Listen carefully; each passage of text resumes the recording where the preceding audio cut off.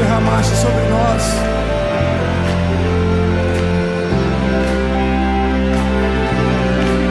Nós queremos honrar teu ministério, Senhor.